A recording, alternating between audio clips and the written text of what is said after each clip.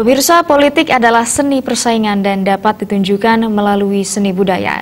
Hal tersebut diungkapkan PLT Ketua DPD Partai Golkar Bali, Gede Sumarjaya Linggih yang kerap disapa Demer saat menghadiri pemasangan baliho Capres-Cawapres Jokowi Amin. Kegiatan tersebut tergolong unik karena diisi pula pementasan seni budaya sebagai identitas politik santun di Desa Penarungan yang dimotori Sekretaris DPD Partai Golkar Badung, Wayan Soyasa.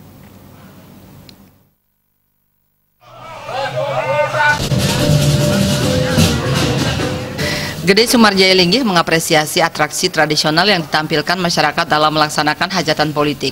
Di Bali, adat istiadat dan hajatan politik dapat menyatu.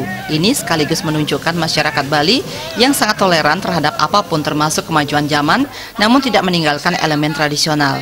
Gede Sumarjaya Linggih, politisi Golkar aspiratif yang akrab disapa Demer ini, memberi apresiasi tinggi kepada Desa Penarungan yang dikomandani oleh Sekretaris Partai Golkar Badung Wayan Suyase karena telah mampu memberikan pelajaran politik yang sangat baik kepada masyarakat, sehingga politik bukanlah sebuah pertarungan, namun merupakan persaingan. Politik adalah seni dan telah ditunjukkan melalui seni budaya. Ke depan, Demer berharap semua daerah mampu menunjukkan kepada masyarakat politik adalah persaingan dan seni. Juga dengan desa penarungan ini yang mana dikomandai oleh Wayan Siase, bahwasanya pada hari ini mampu memberikan pelajaran politik yang sangat-sangat baik kepada masyarakat.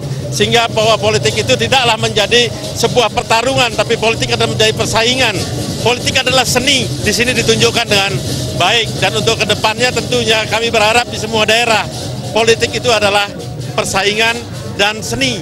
Makanya sering dibilang oleh para tokoh sekalipun bahwa politik adalah uh, seni. Nah, di sinilah letaknya yang saya saksikan sendiri, di mana masyarakat sudah sadar apa itu berpolitik, apa itu berkesenian, apa itu bermasyarakat. Disinggung mengenai target Gede Sumarjayo Linggih yang kembali maju ke DPR RI dengan nomor urut 1 di Partai Golkar Dapil Bali, mengungkapkan selaku Ketua Partai Golkar, pihaknya sangat berharap terjadi peningkatan perolehan suara untuk meningkatkan jumlah kursi legislatif Partai Golkar di semua tingkatan. Untuk itu, Demer mengajak seluruh kader untuk bekerja keras dan senantiasa turun ke masyarakat dalam memperjuangkan aspirasi rakyat. Supiatna Bali TV